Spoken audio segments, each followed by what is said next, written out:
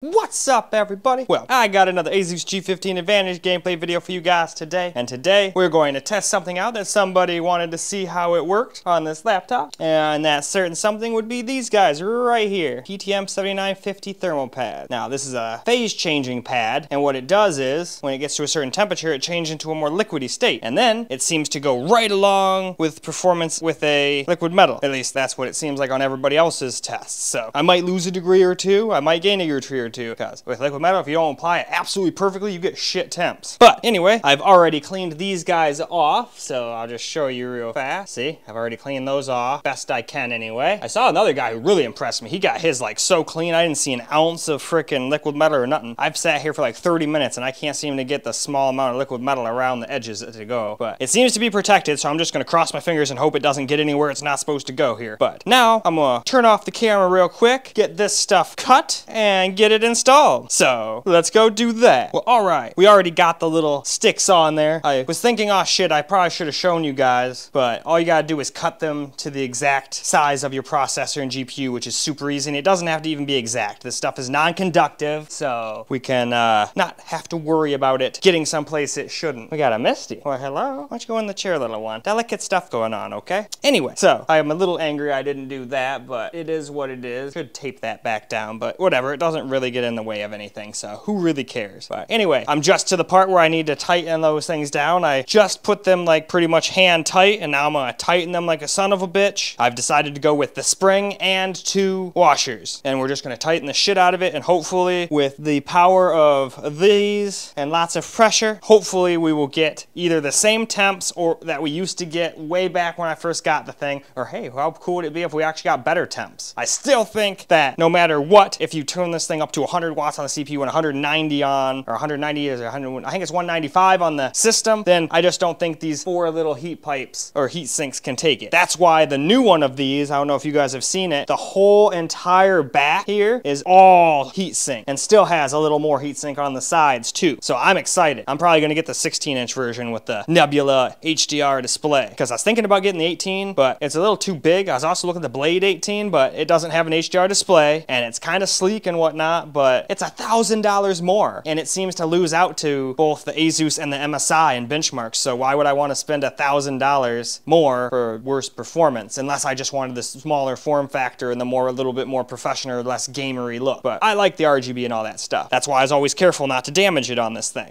anyway though, I'm gonna get these things all tightened up and then we will get this thing put back together, start it back up. Hopefully I didn't break anything in the process, but I mean I've taken this thing apart so many times. I feel like I could almost do it with my eyes closed at this point. Uh, although as soon as people get cocky like that, that's when problems start happening. So just watch. It's just gonna fuck up and not turn on now. Hopefully not, but we'll see. Guys, it's about to be the moment of truth. Turning it back on and making sure I didn't break anything. So let's take our Abogari. Wow, if I could talk. Let's just take our hit of weed that we always take before we do one of these and hope that nothing broke. We'll hit the power button as soon as we're done with the hit. We're gonna take a quick hit of some pure runts. Ooh, oh yeah. It honestly tastes like you're smoking candy. Like, no joke at all. But all right, here we go. All right, well, the RGB isn't broken, so that's at least good. I always still get scared, even though I know how to do it now. Oh, there we go. Already booted up. All right, cool. Well, it didn't fry or so bad that it won't boot into Windows, and it's not doing a bunch of artifacts all over the screen, so that's a good sign. But now, why don't we go get hardware info running and get some load on the thing, run some Cinebench. Now, the trick with this stuff is you can't just go run like one quick Cinebench run and then uh, expect this stuff to give you good performance. You've got to let that stuff kind of melt, so to speak, or do its phase change thing. So I'm gonna go and let Cinebench run for its normal 10 minutes like it's supposed to, and then we'll come back and see what the temperatures are like. Now it'll probably hit 96 for a little while, but after a while, maybe it'll drop under and go down to 94 or 90 or even under 90. How cool would that be? Or it might go hotter than it was ever before. We don't know. That's why we do this shit, for science. And I don't mean mind being a guinea pig for you guys, because if I break this, it's no big deal. I'd be sad because it's the thing that started my YouTube channel, but it wouldn't be the end of the world. I'd just go buy one of those new 4090 laptops, probably the Scar 16 with the HDR Nebula display. That thing looks sick. But anyway, that's besides the point. Hopefully this thing's not broken. Doesn't seem to be yet, but all right, I thought I had something else to say, but just a little stoned.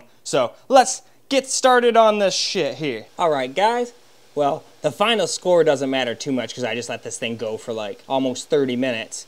And we got 11,536. And then our temperature did not exceed 95 degrees and our average during the whole test was 93. So, with that said, let's carefully put our camera back onto its tripod like so. And now let's go test the GPU side of things out with a quick couple of runs of Firestrike. Well, all right, guys, we got 26,415, but I feel like if we kept running this over and over again, the temps would get better because I only ran this twice. So if I sat here for like 30 minutes like I did with the Cinebench runs, then I am willing to bet we would drop down to under 86 or 286. So I'm gonna have to be careful. I'm gonna have to just sit there for like 10, 15 minutes and let the games warm up so this stuff has time to turn to liquid before I start making videos. I can't just instantly get right in there or it's to look like I have even worse temps than before. Well, not worse temps than before, but the same temps as before. CPU is doing better though. GPU, pretty much the exact same. No worse at least. It's not getting up to no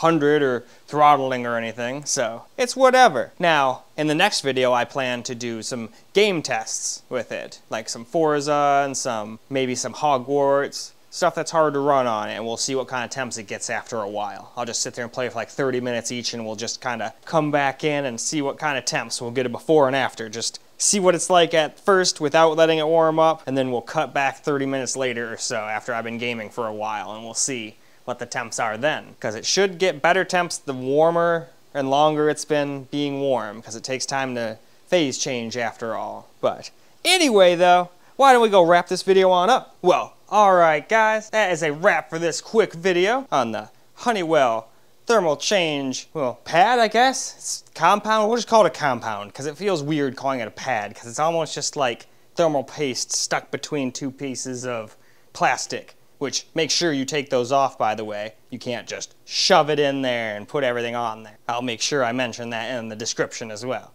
I should have said that in the beginning, and shown you guys how to do it. But I was just so excited to try this out that I kind of just got ahead of myself a couple times. And by the time I thought about it, I already had it, you know, not mounted with the screws, but I already had the heat sink back on. And I figured, well, I don't want to rip it back up. It's probably going to rip the pads apart if I do that because that stuff's delicate. So very sorry about that. I got too excited, but at least as far as the CPU goes, we got like a degree-ish better, so I'll take it, and it might get even better than that the longer we run it. So in games, it might be not 96 anymore. That would be kind of cool, but hey, it might still be. We'll have to wait and see, because we'll definitely do some game tests next. And heck, you guys will see some Hogwarts and whatnot, because I have to retest that game, because updates came out and whatnot. But I'm also just going to, in that video, just do a bunch of stuff like Forza Horizon like we did the last couple times because that's the way we can compare it to the other times. And then a couple other games, we do Hogwarts and maybe a little Returnal 2 or something like that, just to test it out. But anyway, enough rambling. It's about time to wrap this video on up. I sure hope you enjoyed watching this video because I sure as hell enjoyed making it for you and I had a lot of fun opening the laptop and trying these pads out. I think they're going to end up being better than the liquid metal in the long run, just because it's a lot harder to fuck up the application. You literally shove it on the thing, and boom. I know I've got good, like, what you would call it, clamping power now, so it shouldn't have any problem with the uh, pre mounting pressure anymore. That's the word I was looking for. But anyway, as I was saying, I hope you guys enjoyed watching this video because I sure as hell enjoyed making it for you guys. And until the next video, peace out, guys.